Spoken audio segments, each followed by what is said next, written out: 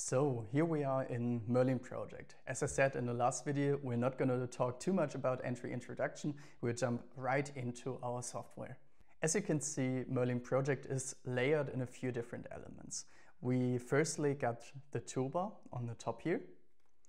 Then we've got the inspector in the right here. You can show or hide it with this button. Then we've got the view configurations and some further elements in the function bar. And we've got lastly our workspace over here. All those elements are truly important. You can see in the toolbar, you can, for example, add a few new activities. We'll go more into activity building in a few seconds. You can indent or outdent them to build groups. You can do so much more like linking, for example, different activities, but I'll jump into those aspects in a few minutes in another video. You can also, and this is important for this video, activate the dynamic help. This feature allows you to learn all the different facets that we have in Merlin project by simply hovering over any element that you're not really aware of. Okay, what does this do? How can it help me? So for example, if I don't know what the inspector is, I can go over here and it gives me an, a short description text. Similarly, these are the project settings. Here you can get a few more information about the project. You can set, for example, date presets and a lot more. But also here, I think it's best if you discover them for yourself. So let me quickly deactivate the dynamic help for now. One important thing that we're going to talk about today is also the different view types and project views. So as you can see right now we're in some sort of Gantt chart. That's also called to categorize it a bit more a work breakdown.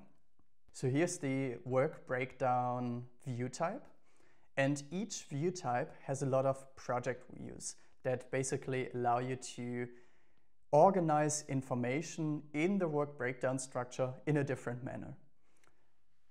There's also net plans where you can simply set, for example, a mind map. So you can see our four activities that we've set up in the Gantt chart are now displayed as a mind map. If I enter a new activity, differentiate a bit, call it test, and go back into the work breakdown structure, you can easily see that the test activity is now also showing in the work breakdown structure. So that's also a truly powerful feature in Merlin project that it is dynamic. So all information can be displayed in all the different view types. So let's quickly go through the others. We've got resource views where you can set and change the different resources that you want to have in your project. We have assignments, which then shows you, for example, how much yeah, capacity each resource has. This is the work distribution, for example. We got plenty of reports where you can yeah, enter some project elements into a report and then share it, for example, export it via email or PDF or whatsoever with your other stakeholders. And then we also have an attachment view Right now, obviously, the project is still empty, so there's no attachments, but we've got plenty of attachments that we're also going to look into in a few seconds.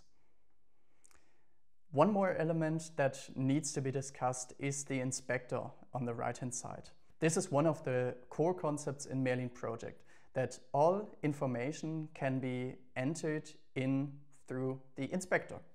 So if you, for example, see you have a new activity here, I can change the title here as well um, start of the project. Then I can change the work.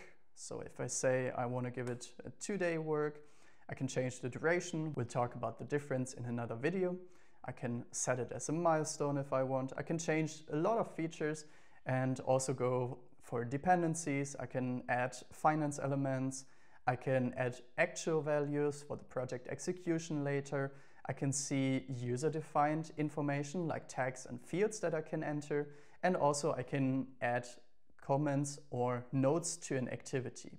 So the inspector helps you to enter and see all the different context elements for basically whatever you selected. Also, we've got different options to filter, to group, to style, or to set further options to our project.